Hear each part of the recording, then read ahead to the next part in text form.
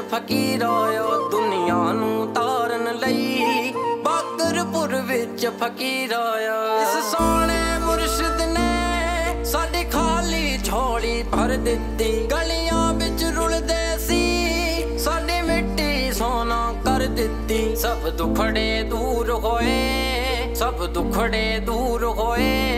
ਜਿਸ ਦਿਨ ਦਾ ਯਾਰ ਕਰੀਬ ਆਇਆ। ਦੁਨੀਆ ਨੂੰ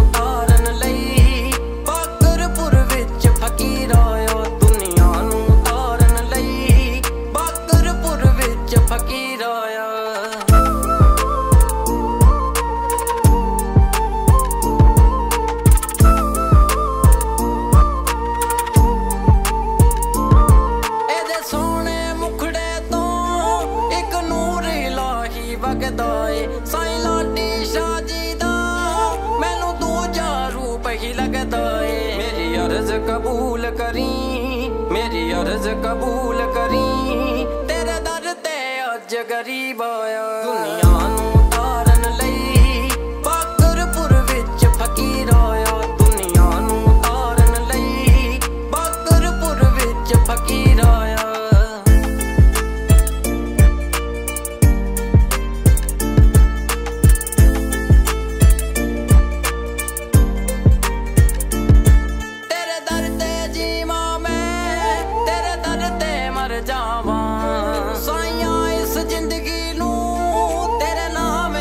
ਜਾਵਾਂ। ਅਸੀਂ ਖੋਟੇ ਸਿੱਕੇ ਸੀ ਅਸੀਂ ਖੋਟੇ ਸਿੱਕੇ ਸੀ।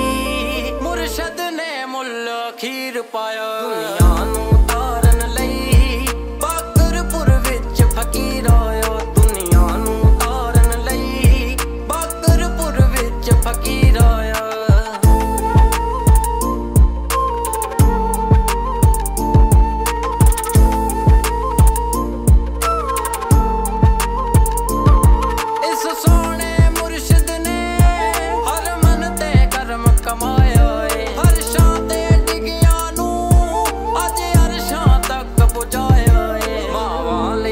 ਬਣ ਕੇ, ਮਾਵਾਂ ਲਈ ਬੁੱਤ ਬਣ ਕੇ ਪੈਣਾ ਦਾ ਬਣ ਕੇ ਵੀ ਰੋਇਓ। ਦੁਨੀਆ ਨੂੰ ਤਾਰਨ ਲਈ ਬਾਗਰਪੁਰ ਵਿੱਚ ਫਕੀਰ ਆਇਆ ਦੁਨੀਆ ਨੂੰ ਤਾਰਨ ਲਈ ਬਾਗਰਪੁਰ ਵਿੱਚ ਫਕੀਰ ਆਇਆ ਦੁਨੀਆ